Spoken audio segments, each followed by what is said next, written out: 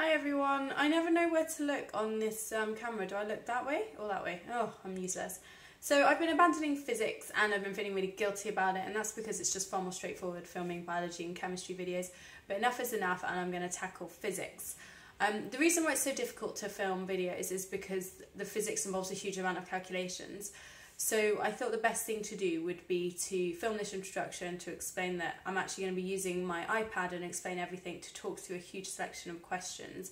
Because the maths element of physics kind of is found everywhere within the physics syllabus, so we're talking about equations used in electricity, to do with resistance, current and voltage for example, you're talking about equations used in um, energy, to kinetic energy, gravitational potential energy, work done calculations, obviously equations linking weight with mass and gravity, um, moving on to momentum, so many equations.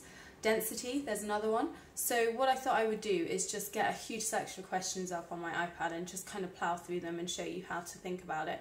What I would say though with physics, it obviously depends on your exam board, but it's super important that you learn um, the equations if you're not given the equation sheets and the best way of doing that is to draw physics triangles because obviously then in that case you have a triangle which gives you all three equations rather than having to learn them all separately because by the time you've learned all the equations you're going to be in such a mess because there's so many of them.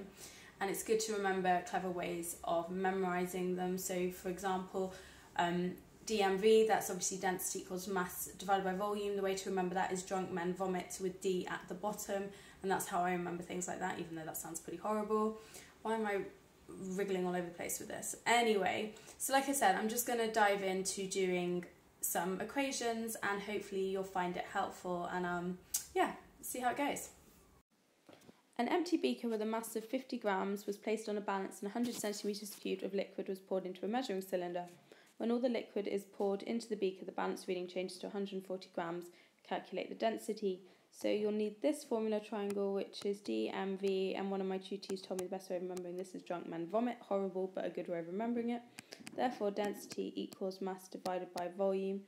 Make sure you've read the question properly. The mass of the beaker is 50 grams, and the total mass of the beaker and the liquid is 140. So therefore, the mass of the liquid must be 90 because that's the difference between the two numbers. We're dividing it by 100 as that's the volume given to give us 0.9. First question done. Write down the equation which links work done, force and distance. So write the formula triangle on the back of page of your exam paper so it doesn't get in the way and write down what you know. So that's work done, force and distance because remember you can't provide that triangle as the answer. You actually have to write it out. And I recommend you writing out in full to avoid mistakes because they're very specific symbols for the words. So, for example, if you're talking about electricity, you have to write I instead of C, which is a bit of a hard thing to remember in an exam situation. But there's the equation work done equals force times distance. Question three What energy is required to move an object if the force is 14.21 newtons and the distance moved is 2.3 meters? Remember that work done and energy are the same thing because they have the same units, which is joules. So you can use that equation we've just written so work done equals force times distance. Force is 14.21 times distance, which is 2.3. I'm running out of space, so I'm going to do the terrible thing of writing two equal signs on the same line. I'm going to use my calculator because I definitely can't do that in my head to get the answer of 32.683. I'm going to round to three significant figures, um, which is always a good bet, but obviously follow the instructions in the exam. Why am I writing 32.6? That's not the answer to three sig fig, it's obviously 32.7 and the units are joules.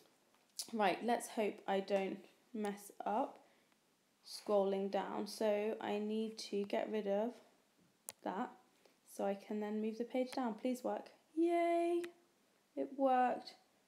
So question four. In a race, a cyclist travels 50 times around a 3.2 kilometre racetrack. It takes them 3.1 hours. What is the average speed of the cyclist? So here's our formula triangle this time, which is d, s, and t. So the speed is therefore d divided by t.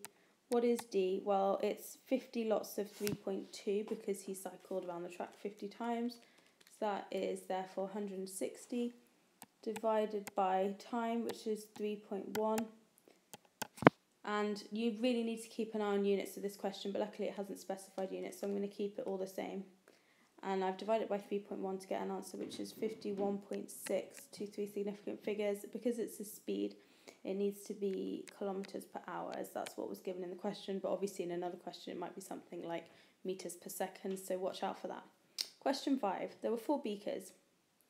I'm not actually going to read that out because that'll take me too long, but obviously make sure you read the question properly. Which beaker contains the largest volume? So I just need to multiply these numbers together to work out the volume. So beaker A has a volume of 60 centimetres cubed. Beaker B has a volume of 80 centimetres cubed. Beaker C has a volume of 90 centimetres cubed. And finally D has a volume of 80 centimetres cubed. So therefore, beaker C has the largest volume. So let's write it out nicely there. Okay, calculate the velocity of a bus travelling through town with a mass of 5040 kilograms and kinetic energy of 493900 joules. Why did I just read it like that? I must be going crazy. I'm very tired. Right, so our equation this time is kinetic energy equals, this is a tricky one, half of mv squared. So let's, this is basic maths now. It's not that basic, I don't know why I said basic, I just mean it's maths. So just substitute in the values you've been given. Half times 5040 times it by v squared. So let's work out those numbers. It's going to be 493,900. And then I'm going to get rid of the half by doing 0.5 times 5040 to get 2520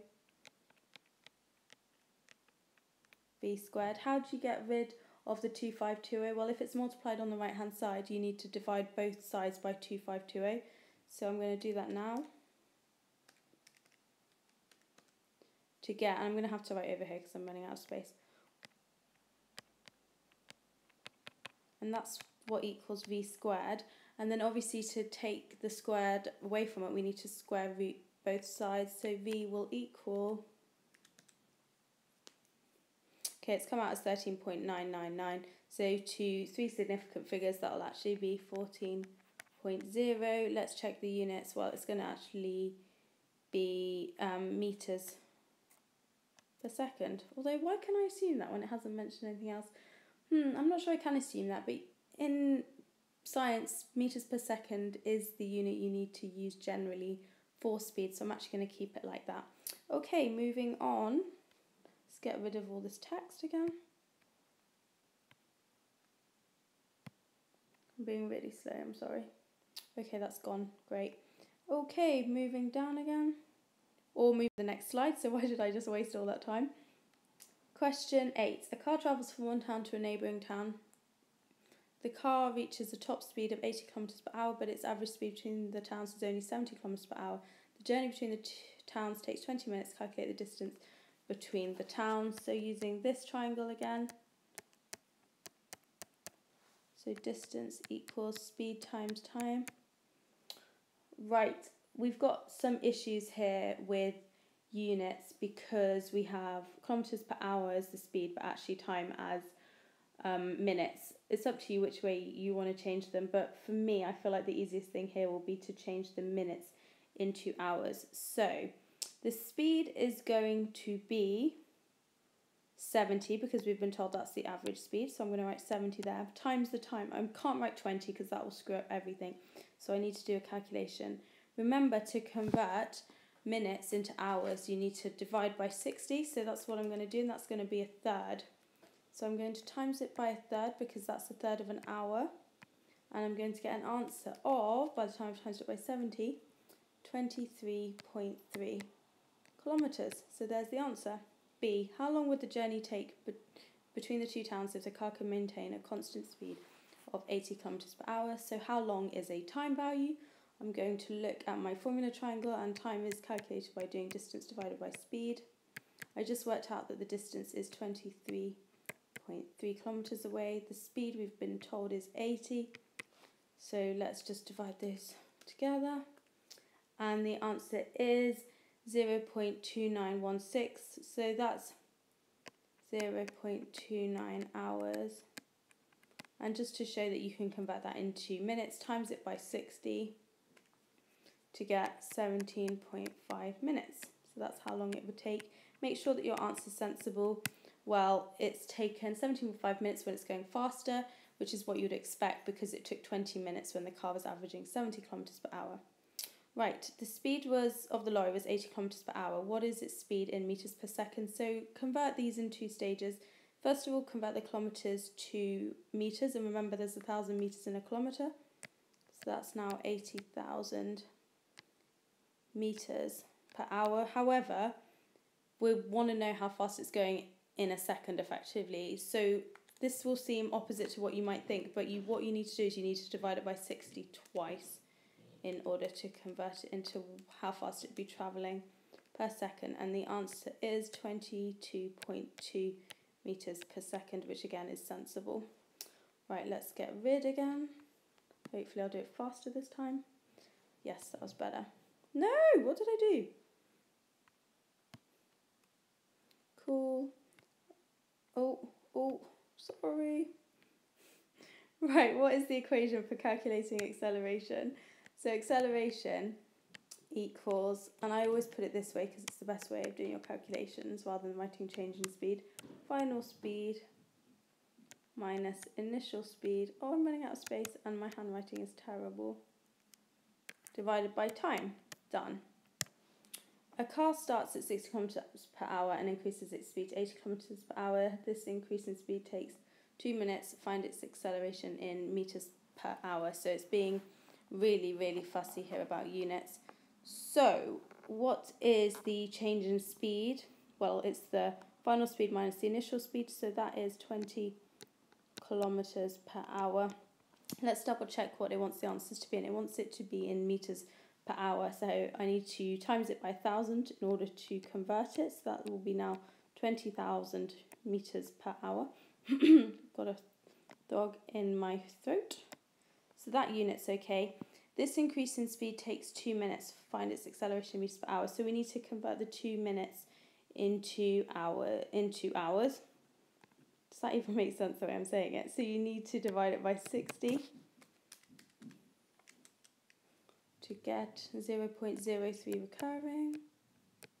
Okay, now we're ready to use the equation. So acceleration equals final speed minus initial speed, which we've already worked out is 20,000 divide it by the time, which is 0 0.03,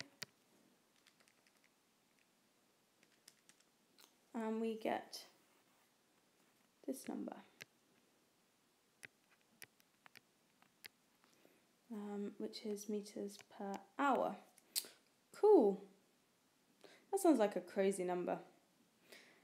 Anyway, let's now move on again. So calculate the mass of an automatic door closing at 0.2 meters per second with a kinetic energy of 1.6 joules. So we're using this equation again, which is k equals half of mv squared. I do think the hardest thing about physics is all the jumping around between the topics. It does actually make it really difficult. Right, we've been told that the kinetic energy is 1.6 and we've got half and then we're trying to find the mass and we've been told that the speed is 0.02 and we've got to square that according to the equation. So in order to sort this out, I'm going to first of all square this 0 0.2. Then I'm going to halve it to get rid of that half. So it therefore becomes 1.6 equals 0 0.02m. And then we need to divide both sides by 0 0.02 to get m by itself. So 1.6 divided by that number is 80. So the mass is 80 kilograms. Cool, done. Okay, are we nearly there? Right, on to the next slide. Why do I never learn? Oh, I think it's the last question. Amazing. So, calculate the mass of a wind turbine with kinetic energy of, I'm so bad at saying numbers, so I'm not going to say that number, turning at 6 meters per second.